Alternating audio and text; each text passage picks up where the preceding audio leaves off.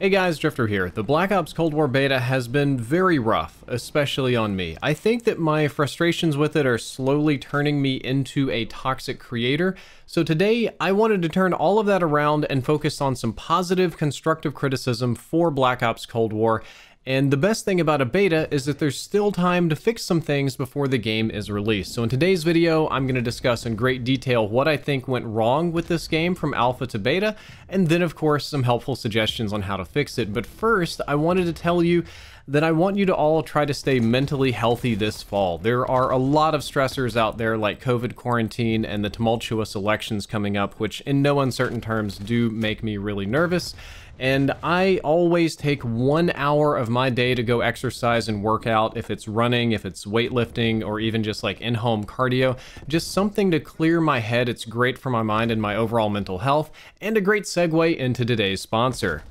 Oh hi, I play Raid Shadow Legends every single day while doing pull-ups, just like this.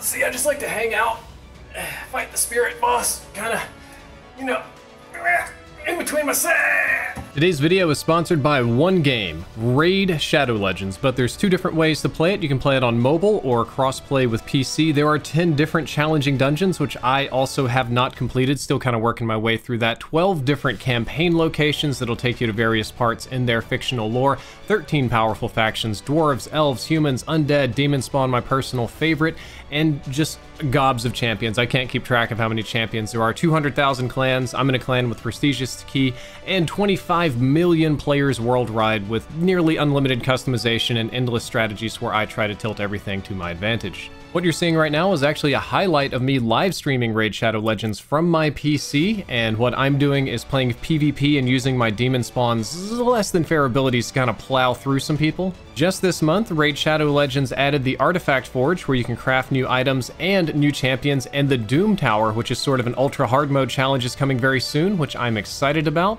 If you sign up to play Raid Shadow Legends with the link below in the description, you will get 100,000 silver, 1 energy refill, 10 mystery shards, and a free champion, the Slasher, which will help you on your early game journeys. I wish I could get these myself, but I cannot because I'm an old player. After you've clicked my link below and downloaded the game, gone through the tutorial, all of your rewards, gold, silver, champions, goodies will be in this little box in the upper right hand corner. So what are you waiting for? Download Raid Shadow Legends today.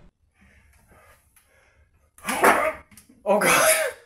That was not what I meant to happen. Okay, we're gonna do that one more time. It's disgusting. Okay, now that Raid Shadow Legends is done, let's talk about the Black Ops Cold War beta. I think the Black Ops Cold War beta went wrong because of some unintended consequences of well-meaning changes. A video game isn't exactly like a series of sliders or knobs where you just move one down and the other one up and it kind of balances somewhere in the middle. Instead, it's a super complex and complicated series of systems that all have to work together and can have sometimes chaotic outputs. Small changes in a system as complicated as a video game with all these thousands of lines of code and math going on that you don't see can have massive rippling effects that create unpredictable outcomes. This is commonly thought of as chaos theory, where somewhat seemingly random systems can be determined by certain laws depending on their initial conditions, and that's basically what we're talking about is the initial conditions being changed. And I want to talk about all of these well-intentioned changes that kind of went wrong. Starting with number one, the biggest issue for me right now is the lag. Uh, in no uncertain terms, the Black Ops Cold War beta is very laggy and very inconsistent for the majority of players. Some players do fine though, they really do. Some players do absolutely fine, they haven't had any lag or stutters or anything, but from what I'm seeing on Twitter and from other content creators, it seems to be more laggy than not laggy. And I don't think that this is a simple matter of a lag compensation adjustment. It's not a switch that they turned on and off. I mean, that's possible, but I don't really think that's the problem. I was one of the people that complained about the bullets going around corners in the alpha. I wasn't super happy with the connections, like it was passable, but it wasn't really on the good end of things. And I asked for Treyarch to change some things, and boy did they ever, but I, I kind of wish I hadn't. I, I don't, my, well, my opinion doesn't really matter that much, but I, I kind of want the old system back. That would be nice. Uh, I'm assuming what happened is that Treyarch decided to make some changes to both the servers and the lag compensation themselves. I know that they adjusted the tick rates on the servers to drop the combined arms servers down to 20 hertz, whereas they were 60 hertz for the alpha. The base game servers, like 6v6, is all going to be 60 hertz, or it's supposed to be. I think it's possible that Activision could have chosen a different hosting company or client, or perhaps that company upgraded to brand new physical devices that somehow aren't particularly compatible with this beta and it's possible that Treyarch tinkered with lag compensation in order to achieve some kind of design goal, because I'm sure they had some sort of metric somewhere of like player satisfaction, or which uh, the attacker or defender it's supposed to prefer, and all of these things could have changed in that small amount of time. I don't know exactly which one, but whatever combination of things changed, we the players are now mostly lagging, and it's mostly sort of like desync or shoot first, die first kind of lag. There's a lot of gunfights where I will start shooting somebody and they kind of don't really take much damage and then I just die. Or, but conversely, when I round the corner, I just get picked and get kind of blown up instantly. I feel like I pretty much have to shoot people in the back to kill them. I'm unable to win many gunfights. Sometimes it feels like other players are a few seconds ahead of me, which is very, very frustrating. And this is the most common type of lag that I see reported in the community as well, is that the gunfights don't really make sense because you're dying after getting three shots in before the other person even does anything. And whatever happened, I think it needs to be fixed before full release because I cannot play a game that lags like this for a year. I will actually lose my mind as a suggestion, the simplest one, I would roll back whatever lag compensation Treyarch made to whatever was on in the alpha. Alpha had its problems. I complained about those problems. I prefer those problems over the problems we have now. And I think that they need to adjust the server tick rates to have 60 hertz for all modes, including combined arms, especially combined arms, because combined arms can get really, really choppy. 60 hertz servers across all modes, while it costs more money, would greatly improve the player experience. Number two is related to number one, which is lag causes inconsistent player movement.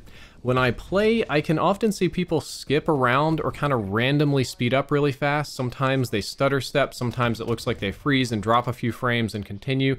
A lot of the times it's a little bit subtle, like a freeze in the animation, but I do see it and I see them slide instead of moving. My teammates will do it, my enemies will do it. There are other times, however, where if the enemy will skip while they're knee sliding, it actually looks like they have rocket skates on or something, or they zip across the map, or all of a sudden they'll start running super duper fast, like like they're just totally cracked out and you almost can't see them because of how fast they're moving across your screen. And what I think is happening here is that the server is getting slightly desynced from the player a lot. Anybody that played PUBG knows about desync. Uh, what will happen is that the player, you at home, will get a little bit out of sync with the server. This all of this usually happens in less than a second, and the server will either predict or think you're going one one way and you don't, and all of a sudden the information that you're sending to the server doesn't match up with the game state that they have on their end, so the server and lag compensation has to choose what to do. And the simple solution to this is to just move the player where they're supposed to be on the server. But what happens is, if that happens to an enemy and I'm playing, I will see them in one place and then all of a sudden they're going to start moving super fast to skip ahead to their destination. It's kind of like when you're fast forwarding and bouncing around on YouTube and sometimes you click ahead, instead of it just skipping to that part, it'll go and just play all the audio and video like super fast to kind of put it where it's supposed to be. This makes it not very smooth. It makes everything look rough. Even though it might be smooth on their end, it looks really rough on my end. On my end, it makes it hard for me to track targets, and sometimes makes people unkillable. Not not immortal, I guess I could get hits on them, but they're moving so fast it seems very unlikely that I would even be able to shoot them, and at the very least, this problem is a gigantic visual and noticeable break from expected reality. We as gamers all know what lag is, we've experienced it, but within some general tolerance, we know how a game should perform, and it's supposed to reflect reality and feel kind of like real time. And when you get a big break from that, when you get shoot first, die first, and people like zipping around the map, it's a big expected break from reality and it feels like you're being cheated. This is an issue that I don't have a particular fix for. I don't know, I'm, I'm not a good enough network engineer or a lag compensation specialist to have honestly any clue what to do. All that I can say is that this does need to be fixed, because if the final game comes out and people are still on skates, that's gonna be kind of crazy. And I assume a higher tick rate, again, can help this, because if the server ticks faster, then ideally they should desync less, or at least get updated more often. Perhaps some server maintenance, unplug it, plug it back in, I don't really know. Number three today is that enemy visibility is bad right now, but it may not be in the future. Visibility seems to have gone down since alpha, and I think that's mostly because of the new field of view settings. As you increase the field of view to see more of your sides, the middle areas kind of have to get smaller. This will quite literally make enemies smaller on your screen and sometimes harder to see. Console players are pretty much not used to having this feature like at all. They really haven't had the opportunity to play with sliders, especially not on Call of Duty. And console players are more likely than PC players to be playing on 1080p instead of 1440p or 4K. And of course, this problem is going to be worse at lower resolutions than it will at high resolutions. At higher resolutions, 1440 and 4K, changing your field of view doesn't really do much to make the enemies too small or unnoticeable because your resolution is really great, but at 1080p it can sometimes be frustrating.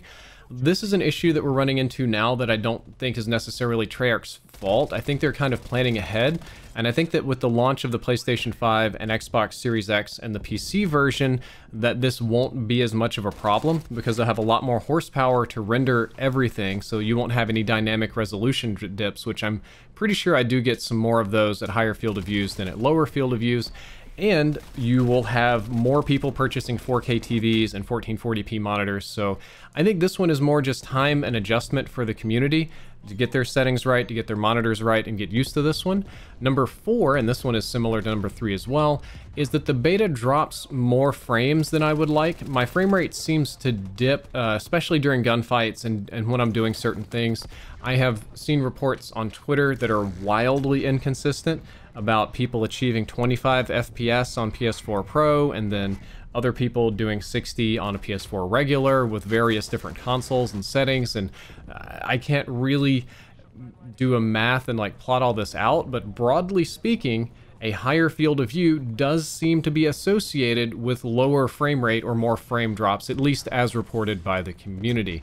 I assume that this is because the game has to render more for you to see. Again, I'm not a programmer on this one, but I assume it has to render a little bit more around the edges. Is that how that works? Hopefully I'm right on that one. But either way, it is causing something to go screwy. Again, this issue will be greatly alleviated by the launch of newer and more powerful consoles and PC launches because they won't dip frames simply from changing the field of view. Uh, but on older consoles, it's going to be a lot harder. Uh, older consoles, Treyarch, I believe, is going to have to put in some work to better optimize the game. And I think that's going to be very important this particular year because of the crisis we're all facing, uh, where a lot of us are stuck at home and cash strapped. And as much as digital entertainment is at a very premium, I don't think that there's going to be that many console sales of the new ones, and there's probably going to be a shortage of the new P of like 3080 and 3090 parts for like three or four months, maybe six. I don't know, but I think the majority of players are still going to be on Xbox One Series X, Xbox One X. The Xbox naming is getting confusing, and PlayStation 4. So I'd like to see Treyarch spend more time to better optimize the game for the older systems. Number five is that there needs to be more work done to the aim assist. The dead zone settings that they added to the game were nothing short of amazing. Playing with those settings and customizing them can definitely help with the aim assist problem that I'm about to describe, but it's not perfect. And right now, aim assist is kind of in a weird place. I didn't have the vocabulary to explain this, I didn't quite know what was going on, and then I saw Elite Shot's tweet about it, and Elite Shot was of the opinion after playing for 10 or 12 hours that the less you fight the aim assist, the better and more accurate you are. And I didn't quite know what he meant, but I did have that feeling of fighting the aim pulling me in the wrong direction. So I decided not to fight it and let the aim assist kind of pull my controller around wherever it wants to go. And he was completely right. Elite Shot was right about this one. The less I actually aimed and the more I let the sticky aim work for me, the more accurate I was. Making micro adjustments mid-fight, trying to track targets, uh, leading targets, anything like that, made my guns way less accurate. I get the highest accuracy and best performance simply from trying not to touch my right stick as much as possible. I, the less I touch the stick, the better my guns would shoot. I mean, obviously you have to touch it a little bit. You might have to track an enemy, you might have to readjust slightly. I mean, if people are jumping around bunny hopping you up close, yeah, you have to kind of swing it and turn around and stuff.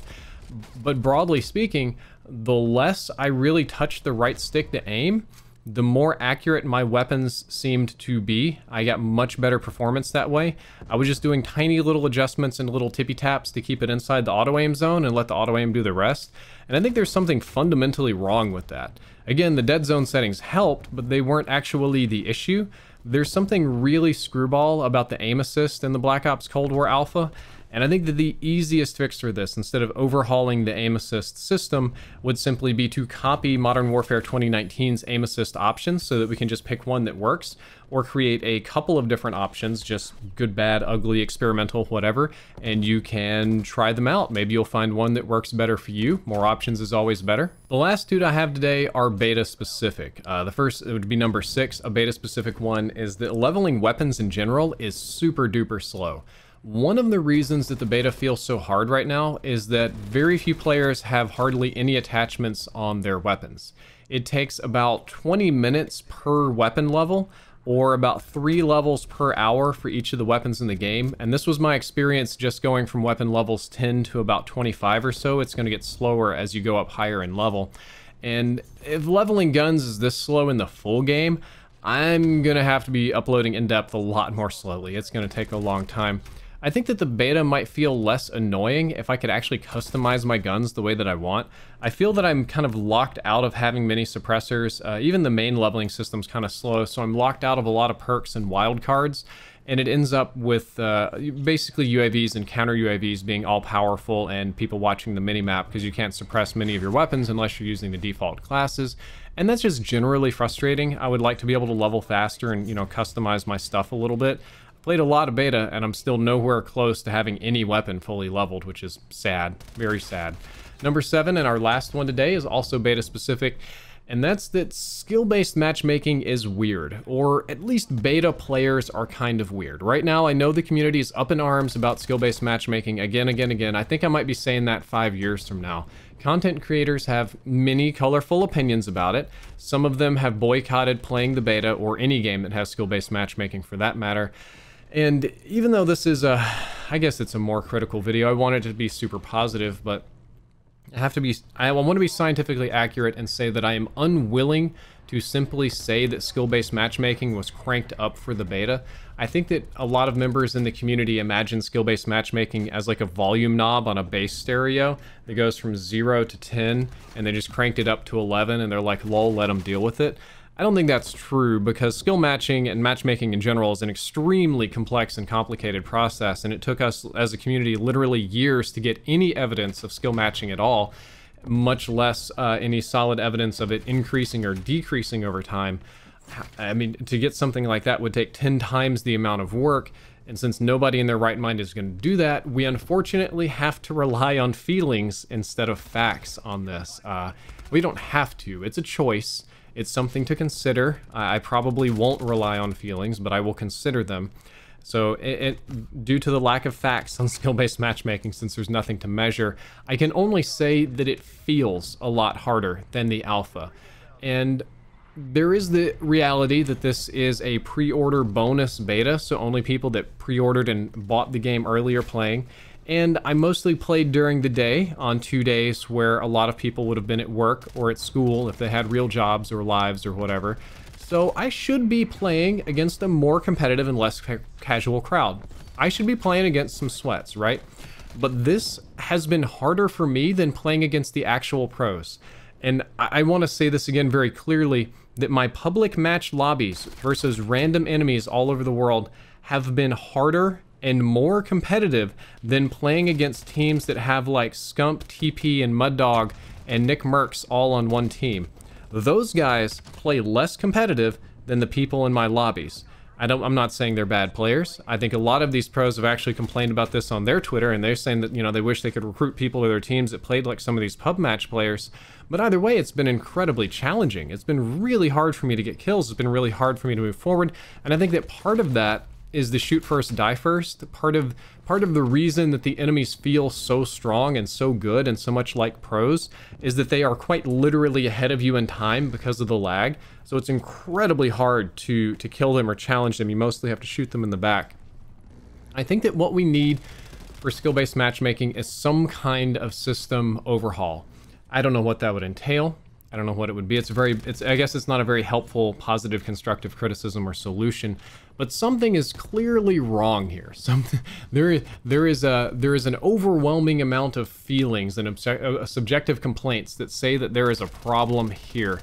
And just saying that we need to do something is lazy, but I've, I've talked about this subject for many, many, many, many years across a thousand videos. So I was gonna say it could be a video all on its own. No, it's already like 10 videos all on its own, 20 maybe on this channel. I just wanna see a change that the community likes that makes my games a little bit more sane, perhaps. I don't mind playing good people. I don't mind playing good people occasionally or even half the time. I don't like playing super good people all this all the time because it doesn't let me do anything fun. And I would like to have a little bit more fun with my beta. Guys, that is all for this video. I hope that you enjoyed it. I hope that you learned something useful about the Black Ops Cold War beta, or how to give constructive criticism, or how to analyze and think about a problem. Or if you didn't listen to anything that I say, I hope you heard the little message about taking care of your mental health during the last part of this quarantine and crazy year. And I hope to see some of you working out too. Man, working your body is one of the best things you can do for your mind. If you enjoyed, don't forget to like, favorite, and subscribe. Drifter out.